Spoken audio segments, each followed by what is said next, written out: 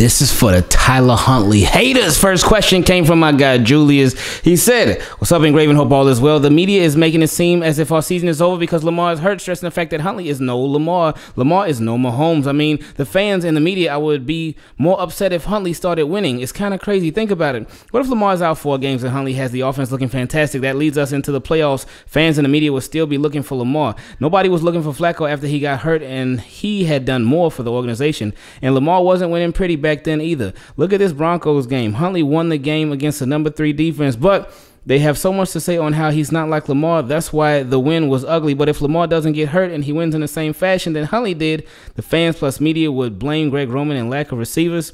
Uh, which one is it? Maybe, just maybe Giro and John didn't call the game different. Maybe they just both had the same calls. It's just that Huntley plays like a Jalen Hurts. He takes what the defense gives him and utilizes all of his receivers to move the ball down the field methodically versus Lamar, who's always holding on, looking for that big play. And if he doesn't see the big play or Andrews, he runs. I'm just saying, what if the fact is that Huntley is just better at operating Giro's system and fitting the Ravens' philosophy than Lamar.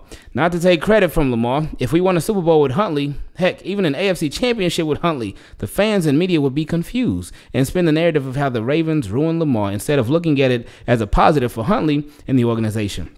For what it's worth, I believe Huntley can do it, maybe even better than what we all expect. I could be wrong, but give that man a fair shot. Look at how they got behind uh, Purdy after one game. Go back to the Bears game with Huntley. He had a comeback win uh, and didn't get nearly as much fan and media praise as Purdy. Who? Uh, who's Purdy? I, I, that, I, I understood everything he was saying. I didn't necessarily agree, but I understood everything he was saying until then. But anyway, he said the other games we lost by three points, but nobody blamed the defense for not holding the lead for Huntley. I'm just saying your thoughts. Woo! Wow, what a way to start us off. what a way to start us off. Um, man, uh, it sounds like you're ready for Lamar to move on after this season from everything that you were saying. Uh, but anyway, um, you're saying uh, people need to get more behind Huntley and give give him a real shot. Uh, what about last year? Like we were all behind Huntley last year, rooting for him to do well. But the Ravens, they lost every game. Every game that Huntley prepared for as a starter and teams prepared for him as a starter, they lost. They lost. I was just talking to one of my guys about this um a couple days ago, and he he was saying, "Well, hey, look, this, this year we we can be a lot more optimistic because the team is a lot more healthier." And I told him, "Hey, that, that's that's a great point, and and I hope that Huntley does well. Uh, but based off of what we've seen so far, when the teams are prepared for him, he's lost. They've lost. The Ravens have lost. So that's what a lot of people are basing it off of. Um, now, we hope Huntley does his thing. Now, you did mention about him using all the receivers. You said maybe, maybe it's just that Huntley runs Giro's system better than Lamar Jackson because he uses all the receivers. He spreads the ball around a lot more. He does spread the ball around a lot more. He spreads it a lot more, uh, but doesn't spread it higher. Um, and, and, you can see the differences in the game plan. You can see the differences. Like so a lot of time with Lamar, you can't. How can you use something that's barely out there? How can you use something that's barely out there? The the tight end when Lamar's on the field, they be having them tight ends on the field. it's it's it's funny, but it's really sad all at the same time. They'll have so many tight ends out on the field. They have Pat Ricard out there, wide receiver one. Pat Ricard, shout out to him. He ain't no Drewski. That's that's Moss. That's Moss. That's Calvin Johnson. That's Pat Ricard, Rice, whatever you want to call him, because they, they have him out there so much, and they put so much emphasis on him as a weapon when Lamar's out there. But when Huntley's out there, they're like, oh no, no, we, we're gonna have our receivers out here more, and you see a clear difference. Again, with with the weight, not even just with the personnel, but even the way that the stuff is called. With Lamar, you saying he hold on to the ball for for a long time? Yeah, he does because you're asking these receivers to go way downfield all the time, all the time. And uh, and I think with Lamar, when, when there's a receiver that comes open like and it's short, Lamar probably like well, he probably don't even be looking for that sometimes because he's so used to all them receivers going way down the field, and then the offensive line they not all that, so he, he had to wait, wait, wait, wait, wait, and then he has to start moving around. He has to start evading defenders and whatnot.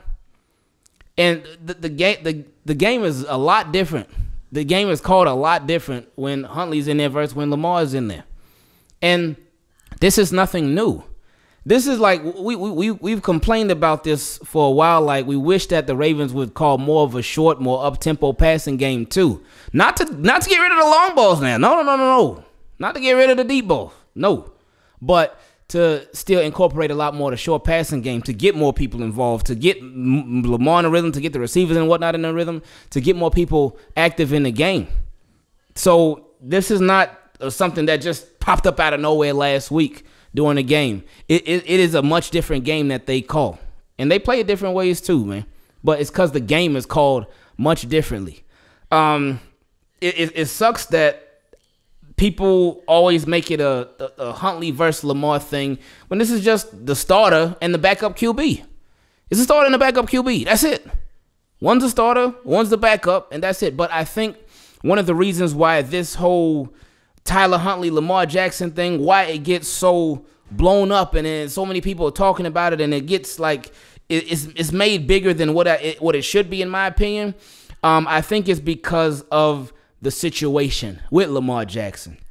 I think um, had Lamar Jackson already been signed or had he not been in the contract year, I don't think it would be as big as what it, it is. I think a lot of people subconsciously too and some people they, they know they're thinking about it. But I think a lot of people subconsciously they're thinking about the whole contract situation and they're thinking about, hmm, Lamar Jackson, what if he got paid a lot of money and the Ravens kept him? Versus Tyler Huntley, what if he the Ravens kept him, but he wouldn't make nearly as much as Lamar? We could run the same offense, get some more players. Maybe the Ravens would change their ways and start really investing into the offense more. Huh, I wonder what this team will look like moving forward with Lamar versus moving forward with Huntley. And I think that's on a lot of people's minds, and they don't even realize it. So it's, it's created this like this war, this war with fans like, oh well, Tyler Huntley does this better, and fans like, oh no, Lamar does this better, and it's just it creates this war and this back and forth.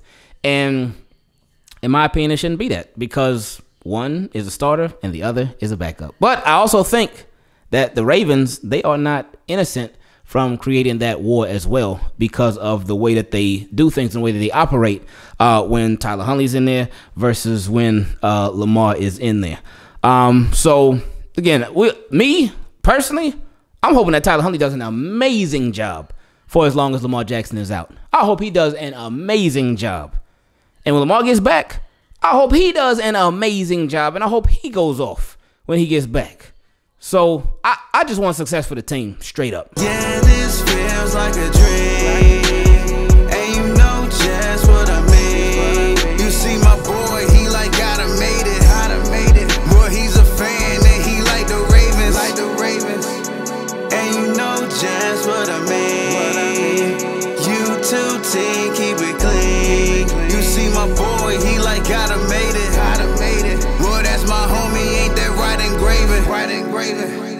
Team Keep It Clean, welcome to another episode of Question from Subs. If you would like to participate in Question from Subs, you can check everything down below in the description. Next question came from my guy, Brandon G. He said, What's going on?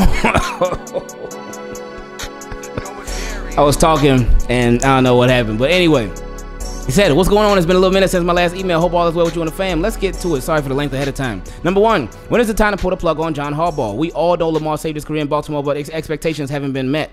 Um, I mean, whenever the Ravens are ready to, to, to, change the way that they do things, to change their philosophy, to upgrade, then it will be that time. But if they're not going to do that, then it's never going to be time.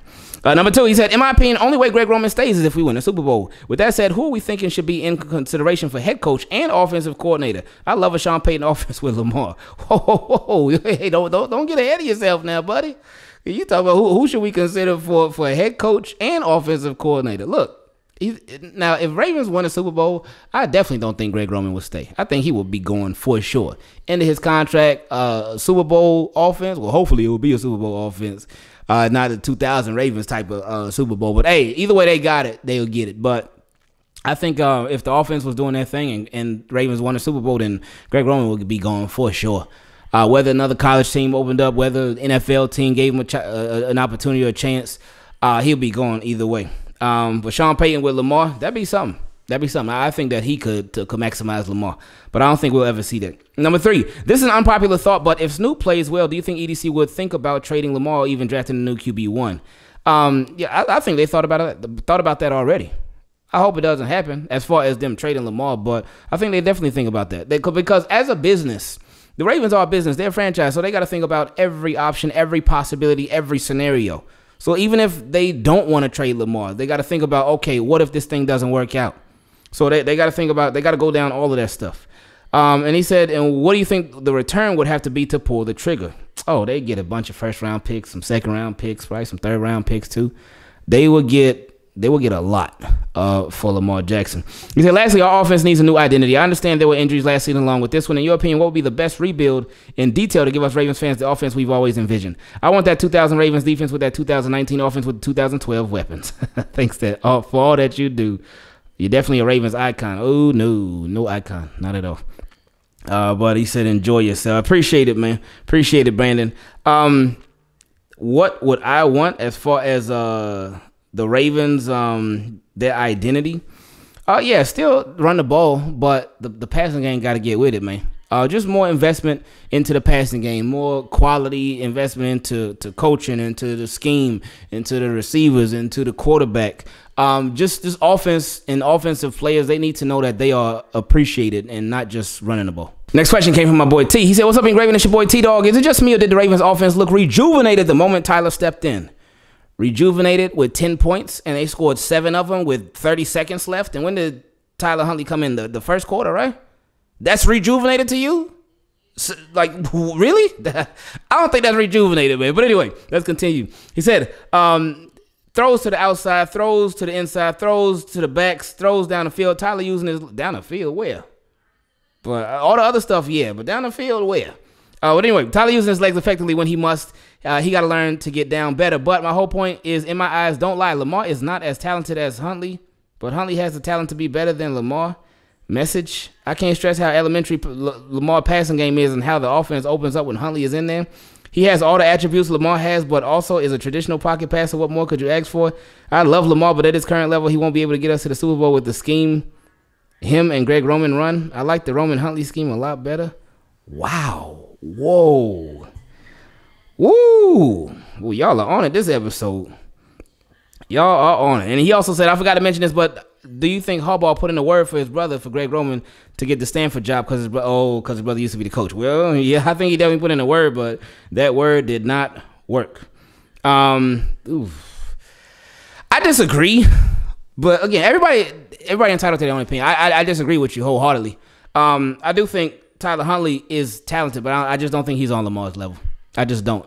And again, like we said earlier, I just think it's, it's a different game being called. But he also said, uh, I want to stir up some controversy. I would like your honest opinion on how this sounds. Obviously, the Ravens are in a pickle with Lamar. So, what if the Ravens decided to go reload mode and decided to put Lamar on a trade block, Mark Andrews on a trade block, Stanley on a trade block, Patrick Queen on a trade block, Chuck Clark on a trade block, and Bowser on a trade block? The Ravens could have enough riches to get a top flight wide receiver, get a top tackle, top corner, top edge rusher, and still be able to build around already loaded team with the picks that they would have and the picks that they acquired. What do you think we could get back from them players, and what would be your first few first few moves in the draft? This this thing this thing's so crazy. I can't even talk right now. I can't even read it the right way, man. Um, what, what you gonna do with all that dead money? All that dead money from Ronnie Stanley, all that dead money from Mark Andrews. What you gonna do with all that dead bread? Patrick Queen, I mean, he only gonna have a, a, a year left on his deal. Uh, well, two years left on his deal if they pick up the, the, the fifth year option. Chuck Clark, I mean, I think he's gonna be going anyway. Bowser gonna get a little bit of dead money with that because his contract ain't too big. But boy, yeah, you that Ronnie Stanley is the that's that's and the Mark Andrews. You you you just asking for dead money with this one. Whew, let me see if this next question could help me get my sanity back. Next question came from my guy D3. He said the larger issue consistency. Uh, good afternoon, Raven team. Keep it clean. My main problem with the Ravens is how they constantly say stack wins, yet when a player goes off in a game, they aren't used the same way the next game. Oh, that is such a great point. Let's continue. He said, Why? Are they scared of success? Example, James Proche balled out against Denver last year, but it was a healthy scratch the next game. This year, uh, Duvernay balled against Cincy with over a thousand, uh, oh, excuse me, 100 multi, multi-purpose yards, but was ignored the next week against the NY Giants. Then he was a weapon against the Bucs, but he was ignored again against the Saints. Drake had 119 yards against the Giants, but wasn't used the next week against Cleveland. The Ravens talk about building a bully, but they are too passive, in my opinion, and get conservative on offense and defense, especially before halftime and the end of the game. Oh, yeah, yeah, yeah. Prevent, prevent, prevent. Our coaches don't have that dog in them, and if players reflect their leadership, why do we expect the dog to come out of our players? Again, we are faced with the dilemma of not drafting that guy on offense or trading for him during the season. But what difference would it make if we got him but only utilize his talent every other week? Oof, what are your thoughts on that? As always, thanks for the content. I pray that you and your family and team keep it clean, stay be safe, and encouraged during Lamar. he said during Lamar's farewell, farewell season with the Ravens. Hurts my heart to say that. You might be right. I hope not, but we'll see. Um, that's a lot of that's coaching. A lot of that is coaching. Um, just not scheming up guys, uh, just not having guys involved like that, not having guys get opportunities consistently. Especially like what do playmakers do? Playmakers make plays. You go to your playmakers so they can make plays for you, uh, game in, game out. Now, if the defense is taking away a, a, player in a game, okay, well, shout out to that defense. But if you taking away that that player in a game, that's on you. Next question came from my boy Michael B. He said, "Hey, Raven, Tyler Huntley or coaching? Hope all is well with the family, and I pray that you're having a blessed day. I may be reaching here, but I believe Tyler Huntley will be just fine if the coaching is clicking on all cylinders. Uh, most people want to talk about how Tyler Huntley lost all those games to end the season last year, but if my memory serves me correctly, I believe Huntley come competed fiercely, and there were a number of critical coaching errors that cost us the games we should have won. Oh, all the all the going for two. You oh you yeah yeah. Uh, not to mention our defense was depleted as well. If the Ravens coaching staff corrects their mistakes and takes easy points and. and our defense continues to play at an elite level. Am I foolish to believe that Snoop can keep us winning until Lamar's back healthy? Much love, respect, and appreciation for your content. Keep going strong, Michael. Appreciate it, Mike. The possibility is, is, is definitely there it's definitely there that uh, Tyler Huntley uh, that he that he keeps winning. Um, it's gonna take everything though. It's gonna take him. It's gonna take the offense. It's gonna take the coaching staff. Uh, the def- the defense was big uh, last year, and again they were banged up, but uh, yeah, coaching was just ooh. Last year was so frustrating. Um, the the, the two point conversions. Uh, what the, the the the guys, the backups being left on islands. Um, it, it, was just rough, man. So hopefully this year, like you said, coaching can be clicking on all cylinders.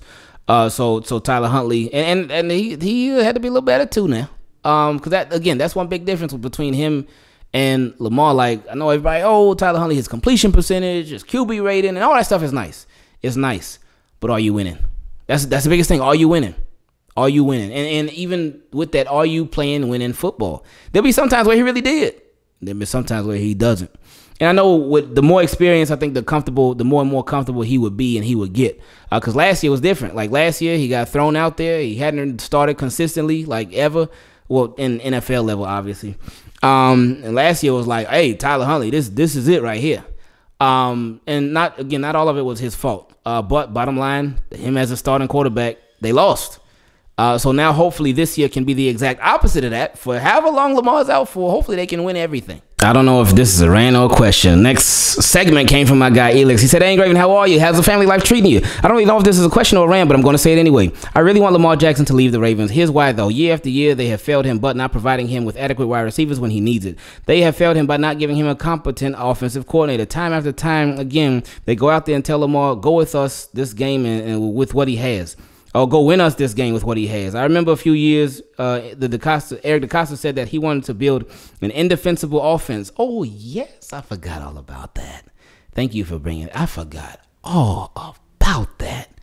Anyway, uh, yet he built the most predictable offense I've seen. I thought he wanted to build a bully. Uh, they build a choking defense when it matters the most. Shaking my head. To me, they only the only thing that came good is that we are getting more sacks and turnovers. I really hope they fire John William Harbaugh. This is unacceptable for him to get away with this travesty. Why are the Ravens doing this to Lamar Jackson after everything he done? Mm. Wow, that was uh that was something right there. Um, yeah, I, really love that part about the indefensible offense. I, I, I forgot all about that. And if you want to build an indefensible offense, uh, something that people can't defend, right? So you want to have it the strongest at every level that you could possibly make it. And Ravens ain't done that. They ain't done it. Um, but you asked the question, why? Why do they operate like that?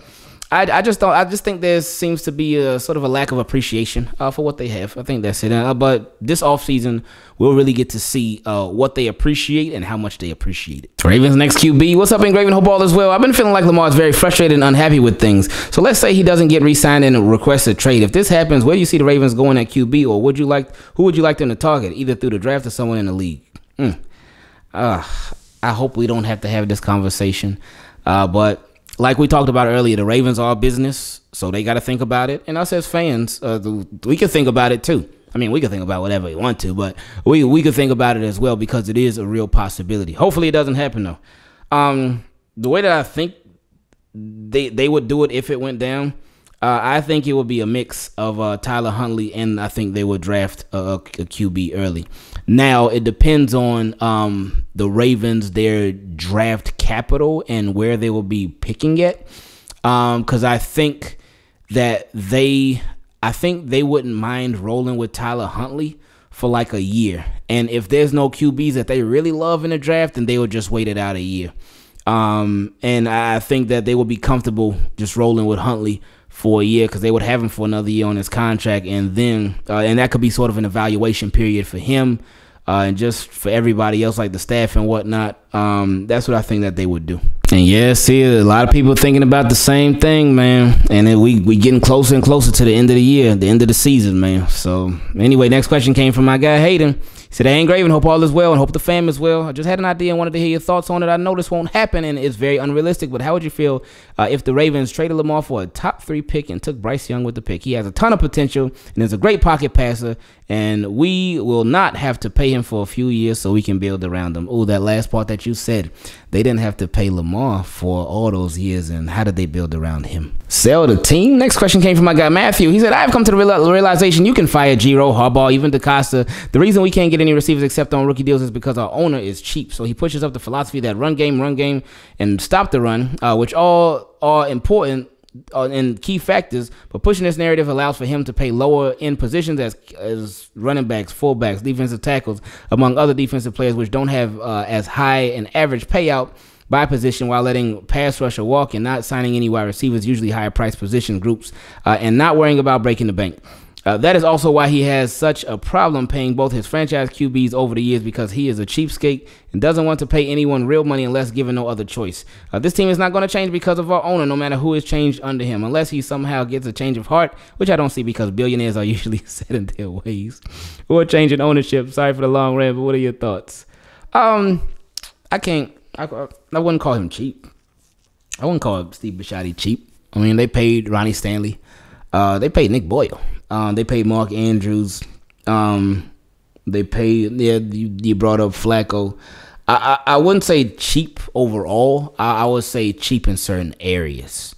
Um, and yeah, the, the philosophy that they do run, it, it does allow for you to not spend, or doesn't require for you to spend money on some of those uh, key positions, especially on offense. But they they also paid Marlon Humphrey. Um, they obviously paid Marcus Williams. They they they paid uh, Earl Thomas a couple years ago. It didn't work out, but hey, they they did pay him. Um, they had paid Marcus Peters. Um, his contract getting ready to run out, but they they they paid him too. Um, Terrell Suggs, obviously. Uh, Elvis Dumervil, when that whole thing happened with the Denver Broncos, they paid him. Um, so yeah, they they they do uh, most of the, the, the big money stuff and the more consistent payments. They do go. They are tailored more toward the the defense. Um, but on offense, here and there they do make some moves. And with Ronnie Stanley, he was the second highest paid when they paid him left tackle at the time, and Mark Andrews at his time. I forgot where he was at, but they did take care of him. But um, it's just those those premium positions that's where they don't really dish out the money to. Next question came from my guy Cyber. He said, What's up, Ingraven? Hope you and the fam are doing well. I was just wondering during the Broncos game when, why the Ravens completely switched the game plan when Huntley came in. Uh, they used less Ricard and Oliver and spread the offense more with receivers and running up tempo, quick offense, while with Lamar, they used a lot of Ricard and heavy packages with no up tempo at all. I might sound crazy, but I truly believe the Ravens are trying to sabotage Lamar. Just think about it. Lamar is at his best statistically when you spread the field with weapons and run a faster paced offense. We saw that all last year with the comebacks and the numbers Lamar was putting up. He was the most efficient quarterback at running no huddle. Another example is the Buccaneers game in the second half where you saw them use less Ricard and more receivers in a faster paced offense. Lamar went 8 for 8 for 100 yards and two touchdowns, and we scored on every drive running a faster pace. My question is, why don't they keep doing it with Lamar when he's at his best with it? It just makes no sense. Hey, you answered your own question. It doesn't make any sense. Uh, they only consistently do it for Huntley, but not Lamar. It's like they don't want him to succeed. Sorry for such a long rant. Just blows my mind that we are really holding Lamar back. I truly wish he leaves the Ravens just to go to a team who actually wants to maximize his ability. Thanks so much for what you do and have a great day. Wow, I, I appreciate that, uh, Sabri. And you, yeah, you you answered your own questions. You answered your own questions. So You was spot on, man. I got Earl with the solutions. He said, What's good, Ingraven? Hope all is well. I was smoking a cigar and watching videos, and I had an epiphany. This Lamar contract ain't that hard as it's made out to be. Keeping the thought of the franchise tag for the next two years already has him with a two year fully guaranteed contract. Why not just take those numbers, add five mil a year to the total, and just give him a two year what? And just give him a two year deal. It's good for Lamar because if he gets hurt in, in year one of the tag, they might not tag him again, but on a deal, he's already good. I mean, a two year deal so short. What, the quarterback gonna sign a two year deal? Like they for, for that they, they might as well just franchise him. If they I mean, if they're gonna give a, quarterback a two year deal, no man, just just roll right, just ride out with the franchise tag, man. But in that case, if, if I do still think, I really think that if they do the whole franchise tag thing, I think he will request a trade. But we'll see. We won't know till we know, and we won't know till we get there. And, I mean, this offseason, we'll start to get there and see how it goes down. The ridiculous Ravens. Next question came from my guy Les Goody. He said, What's up, Ingraven? Watching the Broncos game, I say this in the fourth quarter. Shout out to Team Keep It Clean. Been watching along on the live stream, too. And the ironic humor of you and the guys in the chat is funny. With these Ravens, you got to laugh or cry. Yeah, man. That's the thing, man. Um, whether Ravens doing good, whether Ravens doing bad, we're going to have a good time, man we're gonna have a good time regardless. Uh, some stuff that they do may be a little frustrating at times, but we still gonna enjoy the process regardless. So I, I, appreciate that. But he said, in need of a laugh, given how bad we are looking. My question is this: What's the most ridiculous scenario you can envision for the Ravens in our next game? You know these Ravens are gonna do something ridiculous again. Shaking my head. Much peace and love to you and your family. Appreciate it. Um, mm. most ridiculous scenario I could see them having Pat Ricard throw a pass. That's what I'm gonna go with because they did Proche last week. It'll be against the Steelers. Um, I'm not. I don't. I don't really know how the Steelers defense is doing this year. I ain't really been paying them too much mind.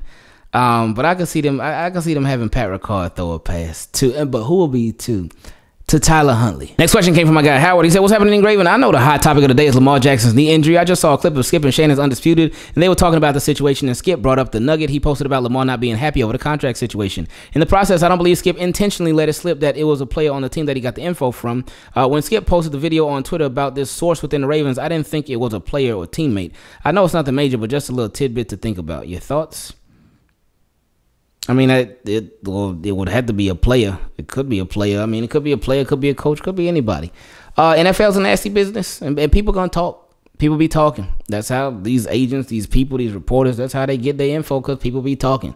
So whoever it was, I don't know, but it was somebody. The wide receivers that could have been. Next question came from my guy Manuel. He said, "What's up, Ingraven? Shout out to Mexico. With Lamar not having elite wide receivers, we could have had one in the making, but Harb said no. Uh, we could have had two in the making, but Harb said no. Uh, could have told Giro design plays for these two wide receivers, but he said no.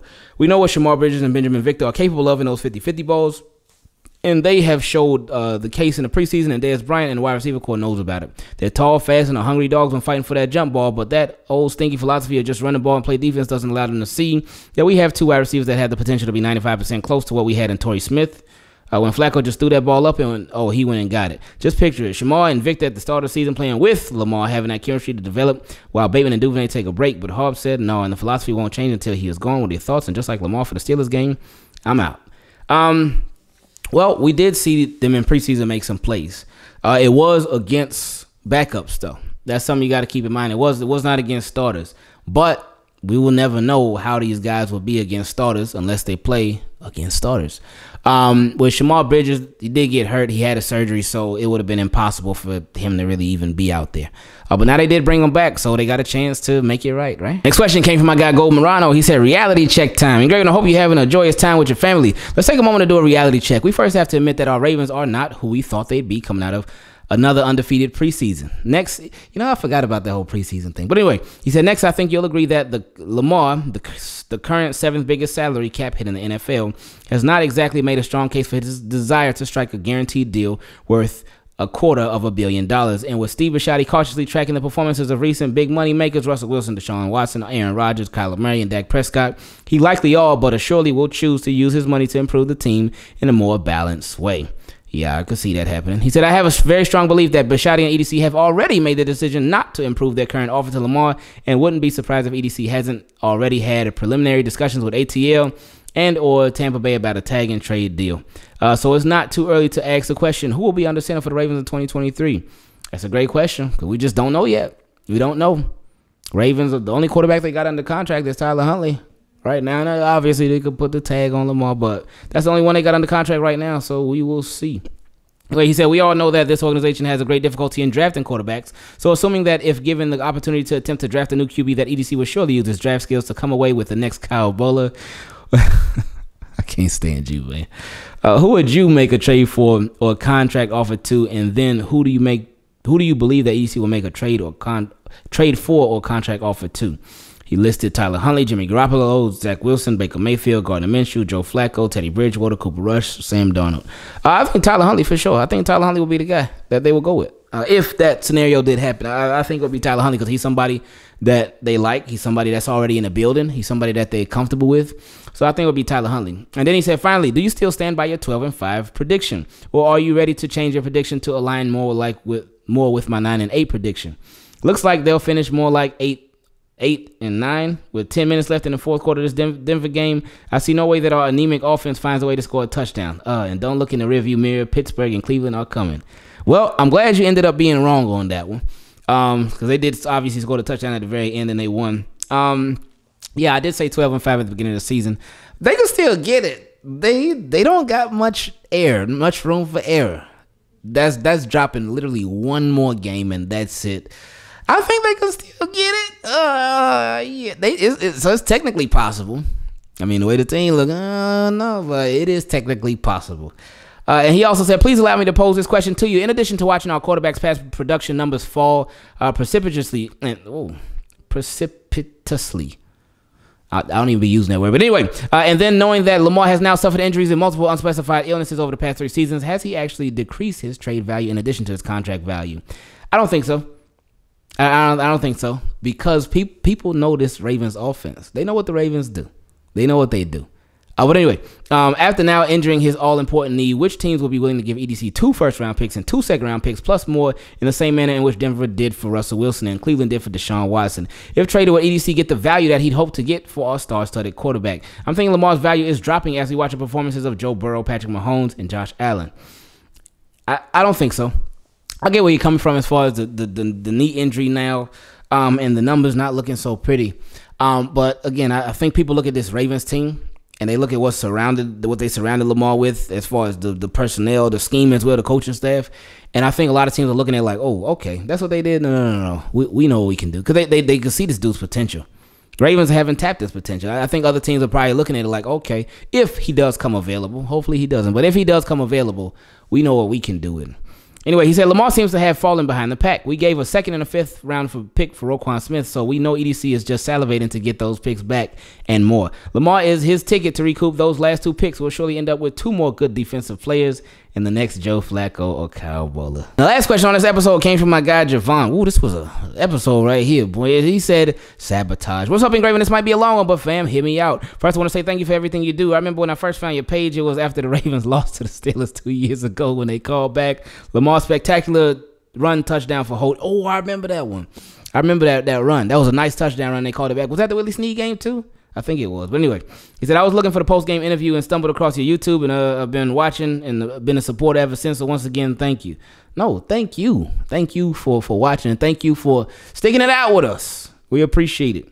He says, so I know everyone, if they watch the game, saw how the offensive plays calls were different for Huntley than Lamar. More quick passes, three wide receiver sets instead of tight ends, and our wide receiver one, a Ricard, didn't go out for many routes. I would hate to say that the Ravens are trying to sabotage Lamar, but that's what it looks like in action rather than words. They don't get him a talent weapon other than Andrews. They trade away his best wide receiver to date in Hollywood and got no one to replace him at all. Uh, they bank on his running ability, which I feel like is why our pass blockers are in, and the play designs are longer in development.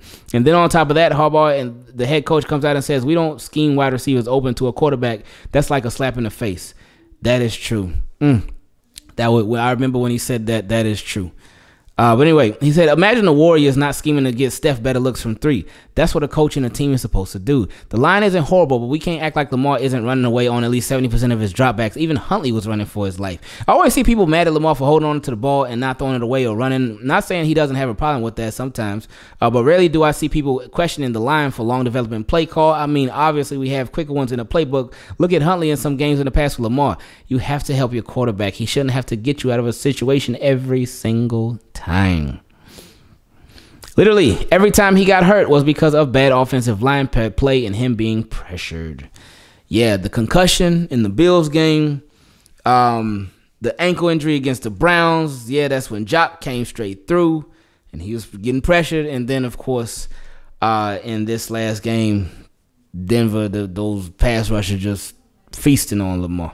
He said, so the question is, what are the Ravens doing to even have a chance of keeping Lamar? That money will have to be right. And I, I think the direction of the team would also have to be. But I think, obviously, I think the money is first and foremost.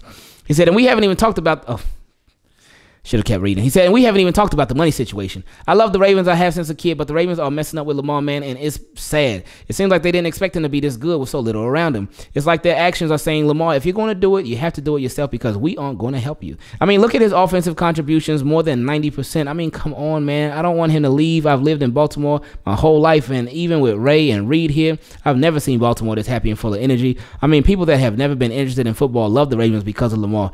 Even some other opposing teams fans love Lamar, and if he leaves, the energy won't be the same. I can guarantee. Sorry for the long rant, but I felt this was a safe space to do so. Hey, that's what it's about, man. I, I really appreciate that part. That that is my favorite part about everything that you said. That this is a safe space to do so because that's exactly what we wanted and needed to be. So I appreciate that. Um, say God bless to all of the team. Keep it clean and everyone keep your heads up because the season isn't over. No, it is not. Um, yeah, for I mean, for, for them to keep him. He said so. The question is, what are the Ravens doing to even have a chance of keeping Lamar?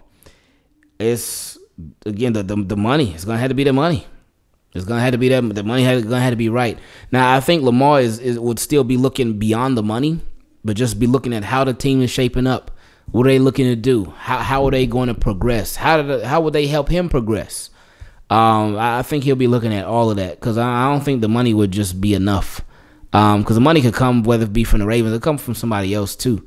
But I think that's where it starts. That's where the conversation would even have to start. But then it will continue and it progress even more and develop even more with all right, so what else are you gonna do for me to help not only get me to that next level, but actually help get the team to that next level. Yeah,